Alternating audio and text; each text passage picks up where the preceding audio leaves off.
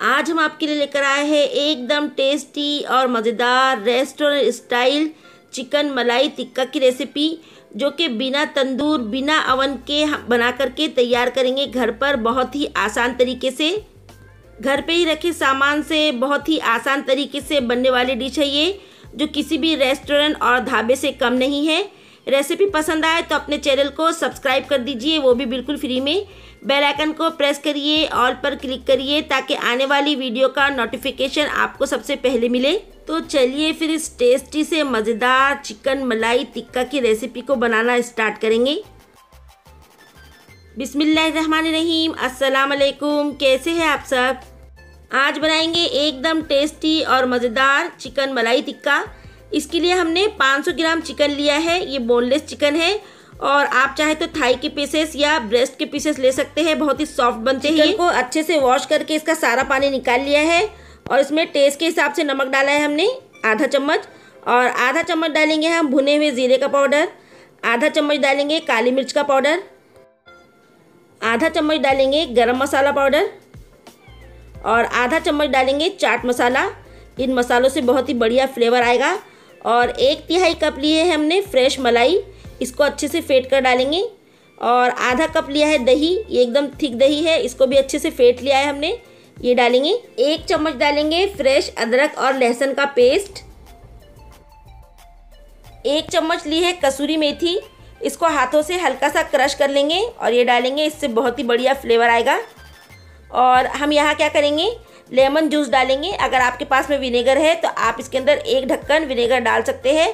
और अगर आपके पास में लेमन जूस है तो एक लेमन का जूस इसमें निचोड़ करके डाल दीजिए। बहुत ही बढ़िया फ्लेवर आएगा इससे। तो लेमन जूस को भी हमने निचोड़ कर डाल दिया है इसमें। और अब हम सारे मसालों को, सारी चीज़ों को चिकन के साथ अच्छे से मिक्स कर लेंगे। हाथों को अच्छे से वॉश कर लीजिए और तभी चिकन को मसालों के साथ में मिक्स कीजिए। हाथों से मिक्स करने से क्या होता है ना, मसाले जो है चिकन पर हर तरफ़ अच्छे से लग जाते हैं। आप चाहे तो ये सारा काम चम्मच से भी कर सकते हैं। सारी चीज़ों को चिकन के साथ अच्छे से मिक्स कर दिया है। अब हम इसको रख देंगे मेरीनेट करने के लिए एक घंटे के लिए फ्रिज में ढक कर के और साथ ही हमने स्कीवर को भी पानी में डालकर रख दिया है, जिससे कि स्कीवर जो है जलते नहीं है।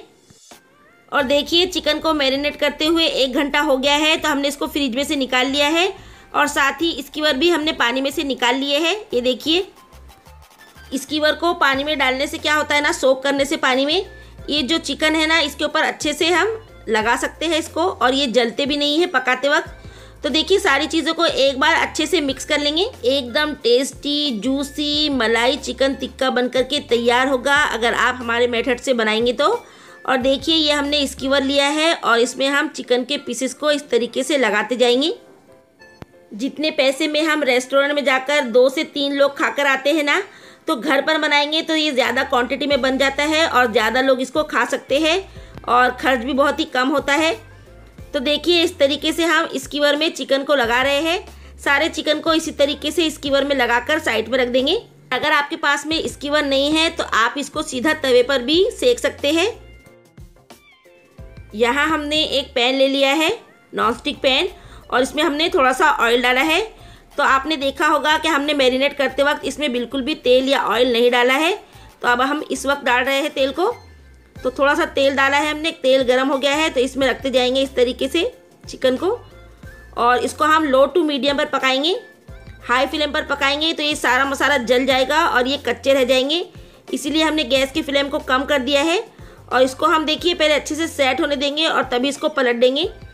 तो देखिए, ये अच्छे से मसाले जो है चिपक गए हैं चिकन के ऊपर। तो अब जो है हम इसको पलट रहे हैं और इसको जूसी सॉफ्ट टेंडर बनाने के लिए हम क्या करेंगे? इसको ढक कर के रख देंगे दस मिनट के लिए और बीच बीच में हम इसकी साइड को पलटते रहेंगे। देखिए, दस मिनट हो गए हैं इसको कुक करते हुए। तो लो टू मीडियम पर ये अच्छे से सॉफ्ट हो गया है और हम इसको दो से तीन मिनट में अलट पलट करके इस तरीके से सेकते रहे हैं। देखिए, काफ़ी अच्छे से पक गया है ये और इसके ऊपर काफ़ी बढ़िया कलर आ गया है। तो अब हम क्या करेंगे? इसको सीधा गैस के फ्लेम पर सेक लेंगे। कोई भी जाली वाला स्टैंड ले लीजिए। डायरेक्ट गैस के फ्लेम पर रखेंगे ना तो गैस का फ्लेम जो है सारा मैशी सा हो जाता है।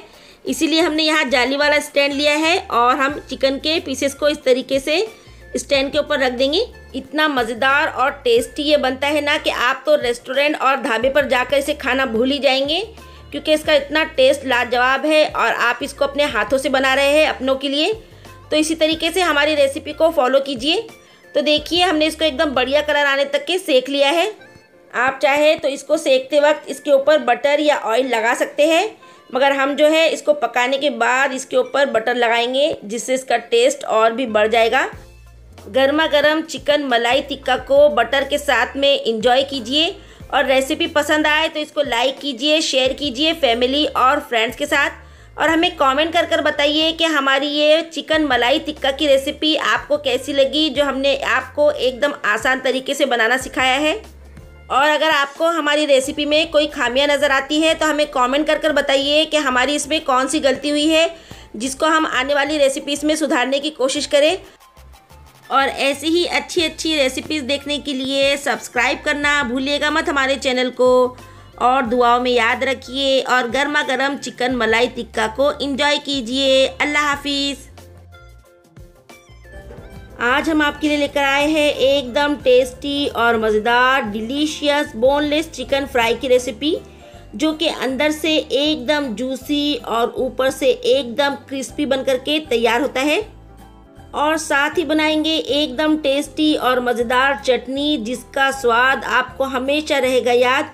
और उंगलियाँ चाटते रह जाएँगे। आप इतनी टेस्टी ये चटनी बन करके तैयार होगी। चिकन फ्राई बनाने के सारे टिप्स और ट्रिक्स आपके साथ शेयर करेंगे हम एकदम स्टेप बाय स्टेप जिससे कि आपका चिकन अंदर से एकदम जूसी और ऊपर से एकदम क्रिस्पी और करारा बन करके तैयार होगा। रेसिपी पसंद आए तो अपने चैनल को सब्सक्राइब कर दीजिए वो भी बिल्कुल फ्री में। बेल आइकन को प्रेस करिए, ऑल पर क्लिक करिए, ताकि आने वाली वीडियो का नोटिफिकेशन आपको सबसे पहले मिले। तो चलिए फिर इस टेस्टी से मज़ेदार जूसी क्रिस्पी चिकन फ्राई की रेसिपी को बनाना स्टार्ट करेंगे। अस्सलाम वालेकुम कैसे हैं आप सब? आज बनाएँगे एकदम टेस्टी चिकन फ्राई इसके लिए हमने 300 ग्राम चिकन लिया है और उसमें पानी डाल दिया है। और उसमें दो टीस्पून हमने डाला है सिरका। इसकी हम करेंगे ब्रांडिंग और इसमें डालेंगे हम एक टीस्पून नमक। इस तरीके से सिरका और नमक डालने से क्या होता है ना, इसके अंदर मसाले अंदर तक जाते हैं और बहुत ही टेस्टी और जूसी चिकन बनता है। तो इसको अच्छे से मिक्स करेंगे और इसको रख देंगे हम आधे से एक घंटे के लिए। अगर आपके पास में ज़्यादा टाइम है तो इसको आप दो से तीन घंटे के लिए भी रख सकते हैं। सिरका और नमक वाले पानी में हमने इसको एक घंटे के लिए रखा था। इसके बाद में हमने इसको दो से तीन पानी से अच्छे से वॉश कर लिया है और चलने में रखकर हमने इसका सारा पानी निकाल लिया है। और अब हम इसको करेंगे मैरिनेट। पहला ज़रूरी स्टेप हमने कर लिया है, जिससे कि हमारा चिकन अंदर तक जूसी बनेगा।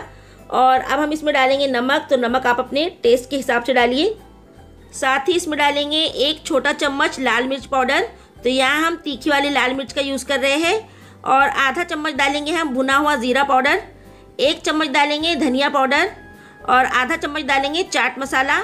आधा चम्मच डालेंगे काली मिर्च का कुटा हुआ दरदरा पाउडर। और एक चम्मच हमने कसूरी मेथी ली है, इसको हाथों से क्रश करके डालेंगे। आधा छोटा चम्मच डालेंगे चिल्ली फ्लेक्स।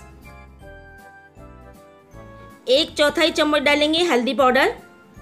साथ ही इसमें डालेंगे दो टीस्पून अदरक और लहसुन का पेस्ट। और थोड़ा सा हम डालेंगे इसमें रेड ऑरेंज फ़ूड कलर। एक टेबल स्पून डालेंगे सूजी और एक टेबल स्पून डालेंगे कॉर्नफ्लोर। इसमें हमने आधा लेमन जूस डाला है और साथ ही इसमें डालेंगे हम एक टेबल स्पून बेसन, इससे बहुत ही बढ़िया बाइंडिंग होगी और टेस्टी बनेगा ये। सारे मसालों को हाथों से अच्छे से मिक्स कर लिया है, देखिए। और अब हम इसको मैरिनेट करने के लिए रखेंगे आधे घंटे के लिए। हमने इसकी ब्रेनिंग की है ना एक घंटे के लिए तो ये बहुत ही जूसी बनेगा। तो बस आधा घंटा काफ़ी है, इसको ढककर रख देंगे। और अब बनाएँगे एकदम टेस्टी और मज़ेदार चटनी, जिसका टेस्ट आपको हमेशा रहेगा याद। तो यहाँ हमने देखिए हरा धनिया ले लिया है एक मुट्ठी। और इसमें डालेंगे हम तीन से चार हरी मिर्च। तो तीखा आप अपने हिसाब से कम या ज़्यादा कर सकते हैं। और साथ ही इसमें डालेंगे हम लहसुन। तो यहाँ हमने पाँच से छः लहसुन की कली ली है। और रेगुलर नमक जो होता है ना, वो डालेंगे टेस्ट के हिसाब से। और दो टेबल स्पून भरकर डालेंगे दही। और अब हम इसको पीस लेंगे। पीसते वक्त अगर आपको लगे तो एक से दो टेबल स्पून आप इसमें पानी डाल सकते हैं। और देखिए हमने इसको पीस लिया है। और बहुत ही टेस्टी और डिलीशियस ये चटनी बनकर के तैयार है। चटनी हमने बना ली है और देखिए यहाँ चिकन जो है मेरीनेट हो गया है।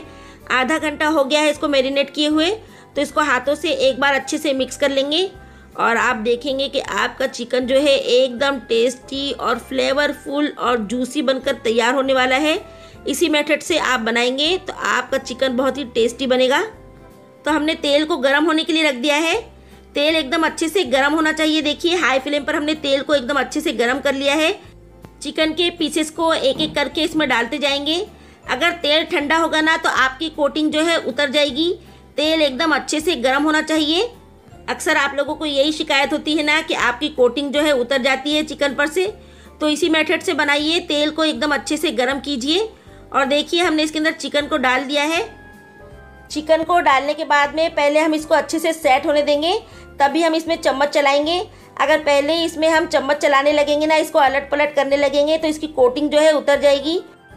और हमने सिरके के साथ में इसकी ब्रांडिंग की है ना तो ये बहुत ही जल्दी सॉफ्ट हो जाएगा टेंडर हो जाएगा। बस पाँच से छः मिनट लगेंगे इसको कुक होने के लिए। तो देखिए, ये अच्छे से सेट हो गया है तो अब हम इसको पलट लेंगे।